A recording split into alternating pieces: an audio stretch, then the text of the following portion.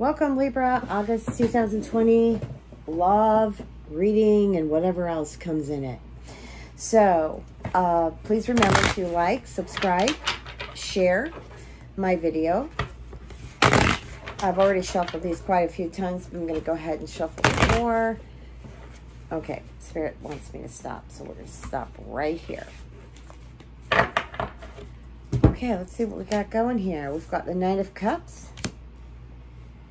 Page of Cups, Queen of Swords reversed, Five of Wands, and the King of Cups.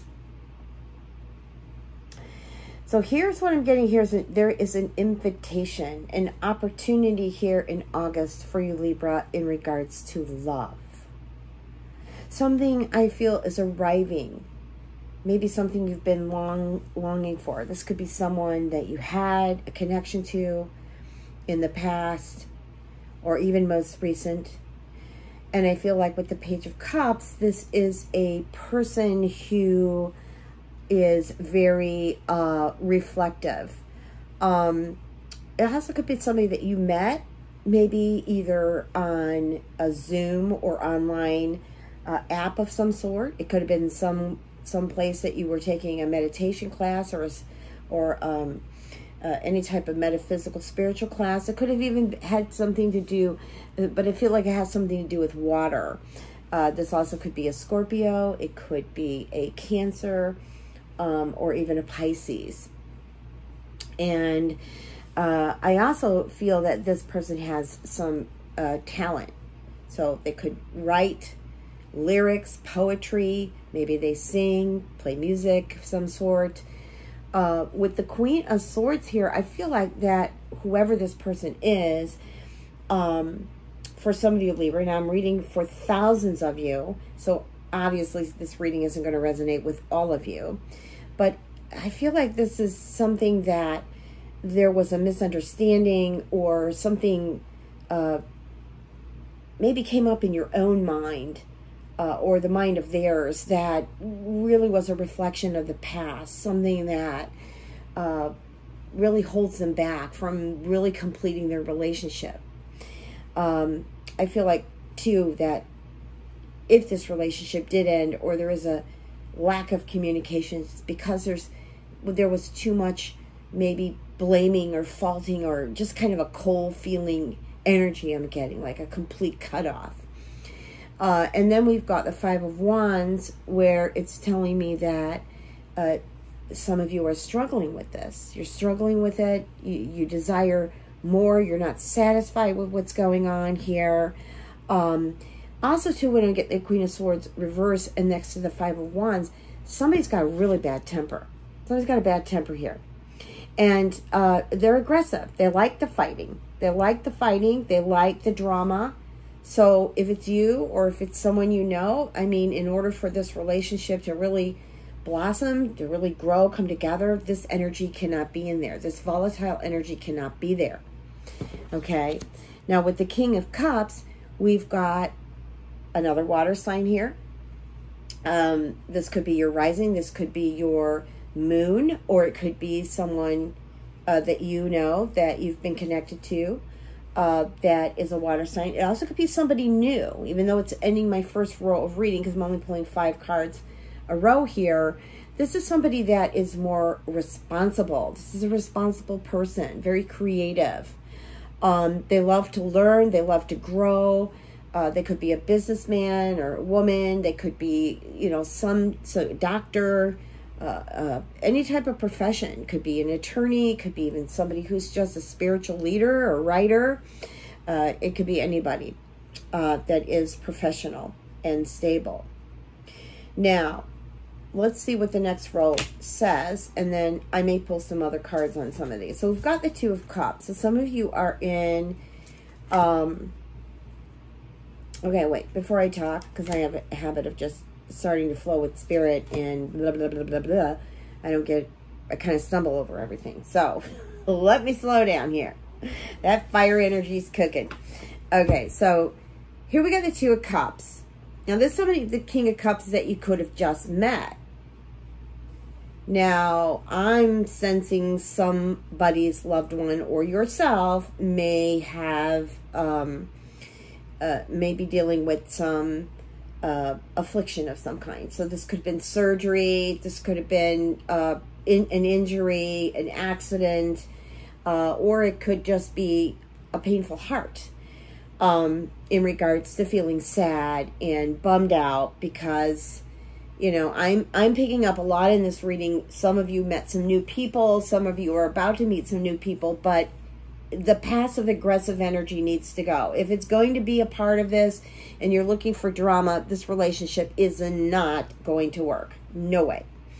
Um you've got to put a lot of love and magic and and, and spirit and creativity in this relationship also okay? I know libras are fantastic romance in regards to, uh, you know, expressing themselves, but also too, you get a little bit indecisive. That's why you're the scales. You're looking for balance all the time. So, um, here we've got the Nine of Pentacles. Now, you can accomplish something good here, but I, I just feel in this relationship that I just, you know, when I look up the top row, I'm like, oof, there's the cutoff. And uh, you want to make it good, or some of you want to make it good with a Libra, but it's right now, I just feel like it needs to work itself out in August. Okay. Work itself out in on it August. Like maybe you're not leaving leaving it up to spirit to help you. Uh, and I'm getting a little fairies. Get little fairies coming in here that you're not asking for higher assistance.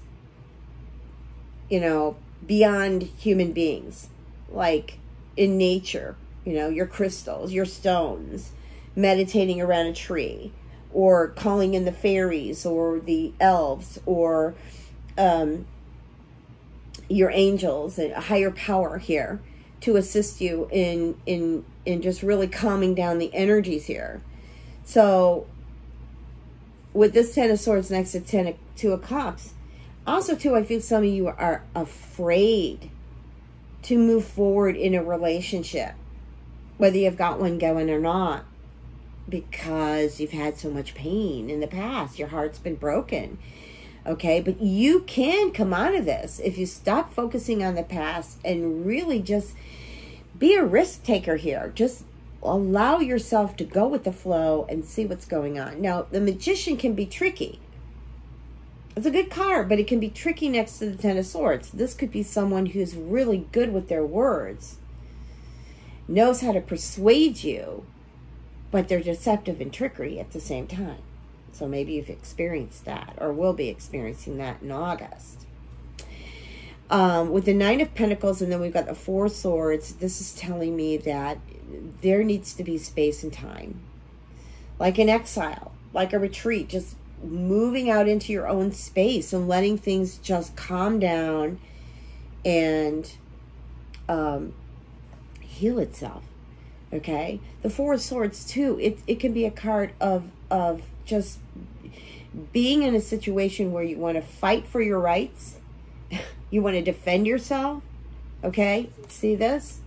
You want to defend yourself. You want to fight for your rights. But at the same time, Spirit is saying that abandonment, the feeling of loss, is one of your core issues of why relationships repeat themselves in certain ways uh, regarding ending up in, in painful moments. So let's look at the next row. There we've got the Hermit. So that's a Virgo card too. And also um, it's telling me that it's good to take your own space because you're going to come up with your own uh, solutions uh, through just, you know, being in your own space, being that little hermit. Um, also, too, we get a lot of knowledge and wisdom. We can absorb a lot of knowledge and wisdom when we are in our own space, especially when things aren't working as well or they're regressing rather than moving forward, this is a good time to take your space in August on and off when you need it. Okay, when you need it. Let's move the cards up here. So this last row here, uh, you if you do that, if you take the time out, let let your partner, your lover, or your um, prospective partner, or somebody that you just met, if you allow them to have their space and you take your space, there's a lot of healing that can be ha- that can happen here. Okay, and um, that's what the Nine of Cups is telling me too. That wishes can be granted if you take the seat of abundant thinking, uh, if you allow abundance to enter back into your life. And that would be, again, the Four Swords, the Hermit, taking this space to really observe things and allowing the other person to have space too. And you don't have to become aggressive about it. Okay? Or if the, your partner becomes aggressive about it, just explain to them that I just need some space and time for me. And this will make our relationship, if there is to be one, a lot healthier. Okay, then we got the Six of Coins, which is also the Six of Pentacles. And this just tells me that gratitude uh, is really important for the month of August for you, Libra. Um, I do feel that you can expect some gifts. Uh, I, I feel like your lover, your partner, your significant other, whatever you want to call them, uh, will be giving you uh, some gifts. I do feel like they will help you in some way, uh, or you'll be helping each other uh, through the month of August. I think the month of August is kind of iffy because we've got Uranus going your retrograde, and there's not much difference between a retrograde and a and a direct Uranus. The only the only thing with Uranus is when it does go retrograde backwards, it shifts. There can be unexpected situations that just boom come out of the blue. Uh, and then we've got the Eight of Swords, and the Eight of Swords is telling me that uh, you just feel like you're in a moment of crisis. Also, too, when I look at the Eight of Swords and then go up to the Ten of Swords, somebody may not be feeling well or know somebody that isn't feeling well. There's a possibility that this loved one uh, or yourself could have uh, some type of surgery or is healing from some type of wound. And I feel like it's uh, an afflicted type of wound. Uh, it could even be an addiction of some sort. Okay.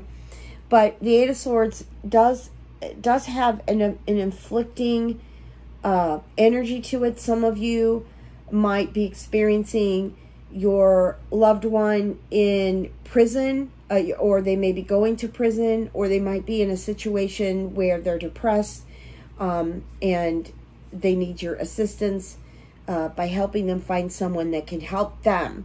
Okay, uh, but I really feel that that you or if this is someone else really needs to make the decision to help themselves because that's when healing really takes place. But I just feel that um, I just feel like for some of you with some of these relationships that you had going, I, I just feel sees. I, I feel like it just seizes, it ends. It it just isn't going to move forward anywhere. And some of you with the Seven of Cups are finding yourself in fantasy land you know, you have some unrealistic attitudes about your relationship, or they have some unrealistic attitudes about you. Okay, there's a lot of daydreaming, although daydreaming is good, but we want to put that in practical application. Otherwise, it remains in a dimension where it can't make a connection to what's really happening in your reality world. Okay. Um, so there's a lot of wishful thinking. Some of you are wasting your time on waiting for partners of the past, ex partners, for example, um, in the past. You're wasting your time waiting for them. You need to keep moving your energies forward. You need to keep moving forward. Um, also, too, I feel like some of you might have some very impressive people or think they are impressing you, but they are not. They're not actually impressive at all. They think that they are this, this, and that, but they aren't at all. Okay? They, they have just as much work to do on themselves as you do, or as anybody else on this planet. Okay? All right, I'm going to leave you with this reading. Thank you so much for listening, Libra. Stay blessed.